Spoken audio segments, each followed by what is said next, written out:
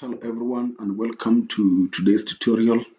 This is the Engineers Hub and we're going to have a look at uh, how to simulate logic gates uh, in uh, electronics and see how they behave.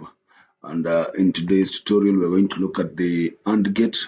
This is our AND gate. It's a two input AND gate uh, you can see its uh, symbol is here. We have input X and Y, and then we have an output, uh, an output of Z. The truth table is here, and uh, in our input, when zero stands for low and one stands for high. So when you have a zero zero input, uh, the output should be zero. When you have a zero and one input, the output should be zero. Uh, the input should, the output should only be high when the input is one one. So let's get started. We're going to do the simulation uh, using our Proteus uh, EDM. Therefore, we can come here and look for Proteus Professional 8. We open it and have a look at the simulation, what you're going to get here. So we open our new project like this.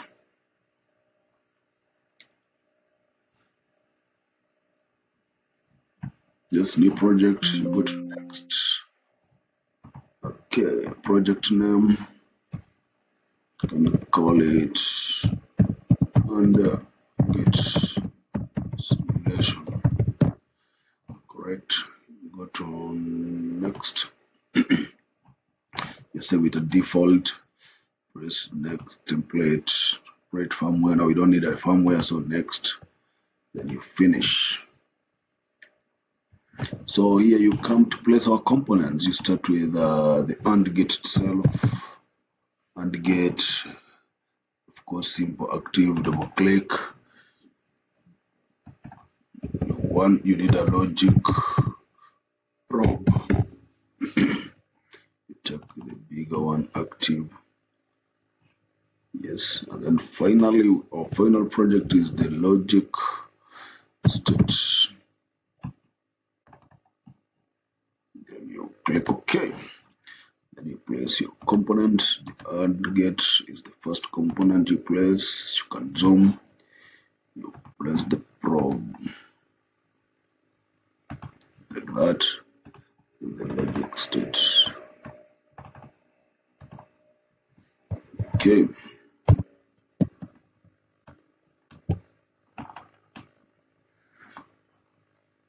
You can drag the object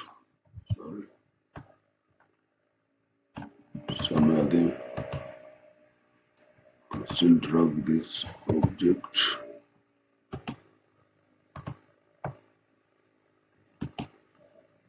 Drag the object.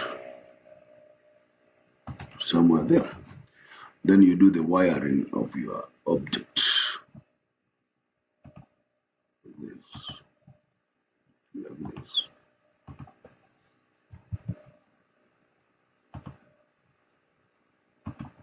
that you save the object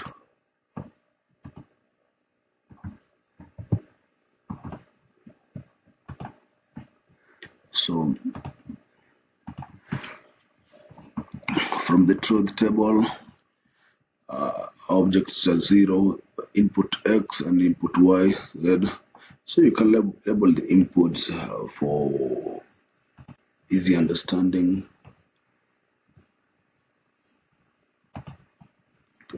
label the inputs. Come here. This is A. Then we come to the zone.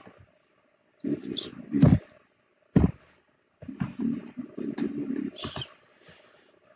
Z.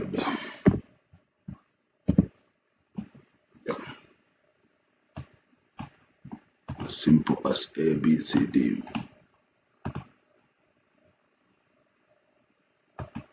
drag them. Drag the objects to where you want to label them.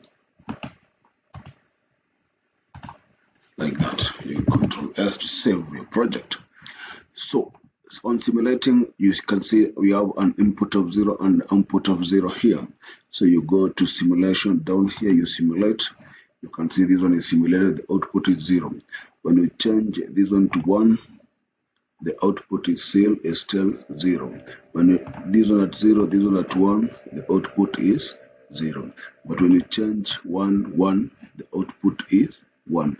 You can see we have confirmed the simulation of this truth table and we are getting the correct results whereby if x and y they have an input of high that is 1 and 1 the output is 1 this is correct.